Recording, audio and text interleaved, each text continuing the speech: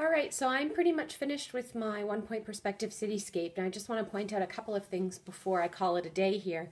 Uh, you'll notice that with this building, the front of the building, which is facing us, is quite a bit darker than the side of the building, which is facing the road.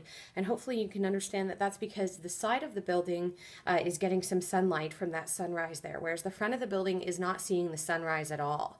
Um, so the same should be the case with Robbie's Diner here. The side of the building building is facing the road, it's getting some of that sunlight, uh, even though it's hiding a little bit behind this building. But this front of the building that's facing us is not getting uh, much sunlight at all, so it should actually be significantly darker.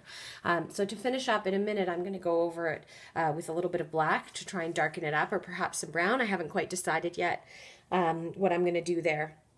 Now, I have not added a lot of sort of interesting details to my cityscape here because I wanted to focus on shading.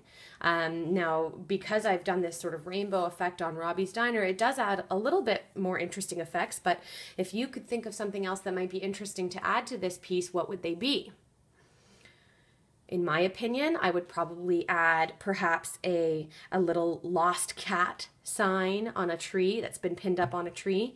Um, maybe in the background, someone's leaning their bike uh, against one of the trees to pick up later. Maybe there's a mailbox next to Robbie's Diner. Uh, maybe there's a lamppost over here off in the distance.